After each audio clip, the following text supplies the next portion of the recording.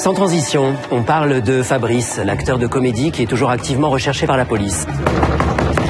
Waouh Sophie Galibert Pardon On était ensemble en quatrième, Fabrice. Bah, T'as le temps de venir boire quelque chose Ah oui, oui, oui, plaisir. Incroyable Fabien Fabrice. Ouais Super Jean-Pierre, je te présente Fabien, c'est un camarade de collège que je viens de croiser par hasard. Bah enchanté Fabien. Fabrice. Enchanté. Bah, moi j'ai connu un Fabien, C'est- mais il était de Tarbes. Ah. Ça vous dit rien?